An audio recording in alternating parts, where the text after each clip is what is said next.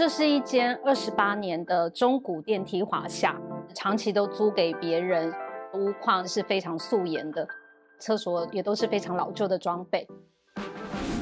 利用它挑高五米，我们做了上下两层楼，变身为二十平的使用空间。哇！他是一个很细腻的一个设计师嘛，所以他会把别人的家当自己的家来做规划。做完之后，竟然发现哇，原来可以把空间充分利用，发展到极致。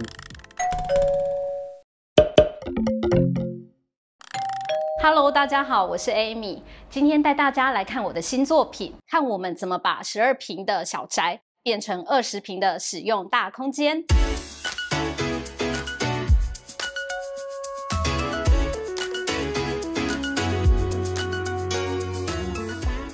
这是一间二十八年的中古电梯华夏，长期都租给别人，屋况是非常素颜的，厕所也都是非常老旧的装备。新的屋主 Tim，我跟他认识很多年，他工作也很忙碌，就全权委托我们来帮他设计改造这间房子。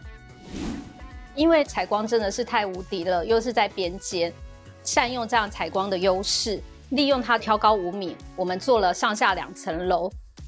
把其中一面墙拿掉，重新做了楼梯，加强了 C 型钢，把二楼的楼底板跟一楼的楼天花做起来，使用平效整个拉上来，十二平的一房一厅一卫变身为二十平的两房两厅两卫的使用空间。哇！一楼的部分我们有玄关、客厅、多功能房，还有一个大厨房。忙碌一天回家之余，我们希望有一个玄关可以转换一下心情，利用这样子条状的带有空气感的格栅，区分一下玄关跟客厅。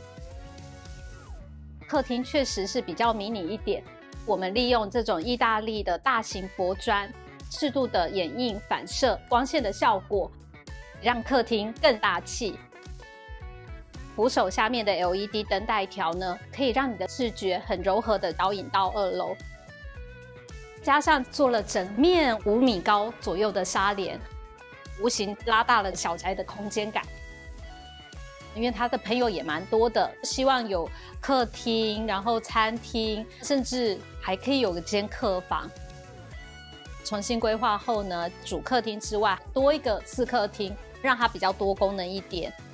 客人或是爸爸妈妈来住的时候，把沙发变成床，它是一间独立的客房。平常朋友来的时候，里面有一桌四椅，可以是不错的用餐区，又可以是独立影音空间。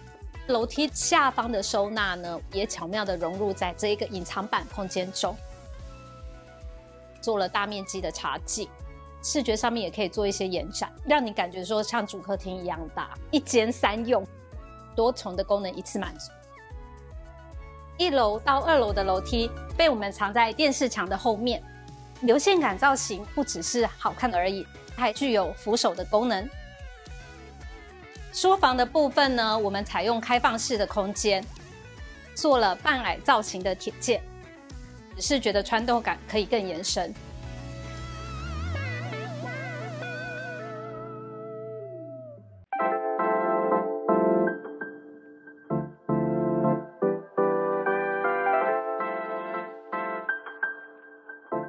主卧的部分呢，比较是饭店式套房的感觉。床背板的部分，我们做了整面的延伸，整个视觉可以更形延展，空间显得更宽敞。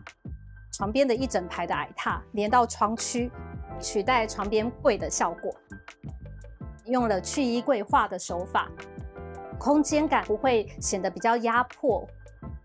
主卫浴砌了一个非常有造型个性的汤屋。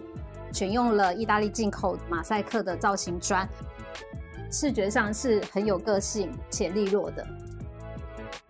不要小看任何一个房子啊，每个房子都有它的潜力在。第一眼进来就觉得这是一个素颜但是却很漂亮的一个女生的那种感觉。认识二十年了吧？她是一个很细腻的一个设计师嘛，所以他会把别人的家当自己的家来做规划。做完之后，竟然发现哇，原来可以。把空间充分利用，发展到极致。软装其实第一个需要时间嘛，平常工作也忙，我也没有什么时间去挑。然后再就它需要点美感，那我自己觉得我们不是那种很有美感的人，所以我就交给他全部来处理。软装它是让空间整个活起来的一个养分。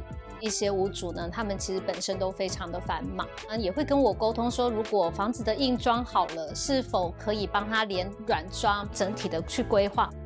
我们会提所谓的软装简报，模拟三 D 的样式，墙上的画作、沙发上的抱枕、沙发的样式都可以模拟在这些模组里面。硬软装一条龙的这样的服务呢，可以让我们的屋主用最少的精力得到最大的满足。把屋主的家想成是自己的家去规划、去设计，我相信屋主也可以感受到我们的用心，能够感受到使用者的幸福，我觉得就很符合我们工作的意义。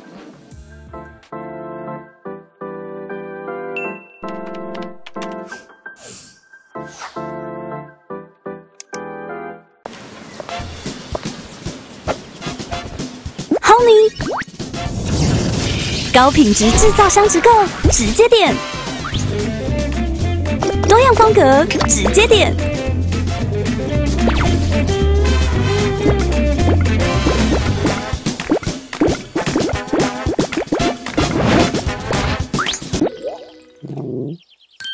直购居家好物，Homey 直接点，Homey 合宜家居。